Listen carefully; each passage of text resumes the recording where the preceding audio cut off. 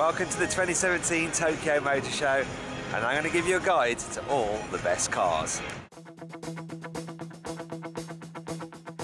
Right then, let's kick off with some cars, and one of the stars of the show has to be the Honda Sports EV concept. This compact coupe runs on battery power and it's just so pretty. From the beautiful now to the bizarre, because Honda catered for the hot dog on demand market with an electric food store that follows you around and you can actually sit on and drive. How odd. Over at the Subaru stand, the VIZIV concept gives a big hint to what the next WRX will look like. True to Subaru tradition, it gets four-wheel drive and a four-cylinder boxer engine. Less traditional though is this tent that Subaru will stick on its cars for those who are keen at stargazing. Hmm. If you'd rather look at the stars on the side of a hotel, the Toyota Century will be more your thing. The poshest car on a packed Toyota stand is powered by a V8 hybrid and gets wool on its seats. It's kind of cool though. From today's luxury to the future, the fine comfort ride suggests that Toyota's next generation of posh cars may get hydrogen power.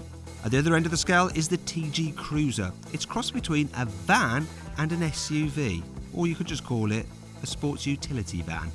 But how about this Crown concept, which was actually the most sensible model on a stand full of mad Toyota concepts? In fact, can we have this rear-wheel drive car instead of the Avensis in Europe, please? Also, can we have this, the GR-HV? It's a hybrid coupe based on the GT86. It gets a manual shift pattern to control an automatic gearbox. Confused? Yeah, just think of it as using a manual without a clutch. However, it wasn't all about cars you can drive yourself on the Toyota stand. They also showed off their new taxi, which looks a little bit like a London black cab but even less pretty, and a hydrogen fuel cell bus which they'll put on the roads ready for the 2020 Tokyo Olympic Games. Finally, we move on to the iRide and iWalk concepts, which are designed to help people with mobility problems and feature artificial intelligence so that the car can actually interact with you. Continuing the weird theme was Suzuki. Its stand was full of the weird and the wonderful, but mainly the weird. There was the Retro XB, the Spacia K car, and the e-Survivor off-roader. It has an electric motor in each wheel and huge ground clearance, but that will mean that getting in and out won't be too dignified, especially if you're wearing as little as what she's got on. Speaking of a female presence at a Tokyo Motor Show, it appears that it isn't quite as politically correct as the European events. I think I'll pause for thought now, just to let that sink in.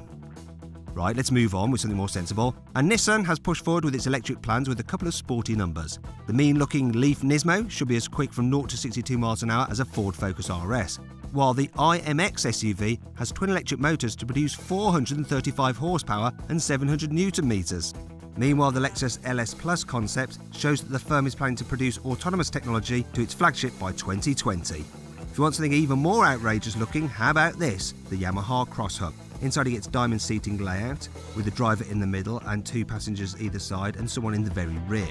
Also, it's designed for people with an active lifestyle as you can put a couple of scrambler motorbikes on the back. And speaking of having a scramble, it was pretty tricky to get close to the Mazda stand, as everyone was crowding around the new Kai concept, which previews the next Mazda 3. Also, Mazda showed off the Vision Coupe, which sadly is just a concept. Yes, they should make it because it's just so beautiful.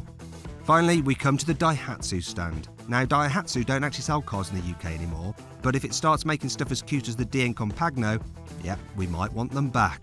As for the DN Pro Cargo and DN Trec compact SUV, yeah, not so much.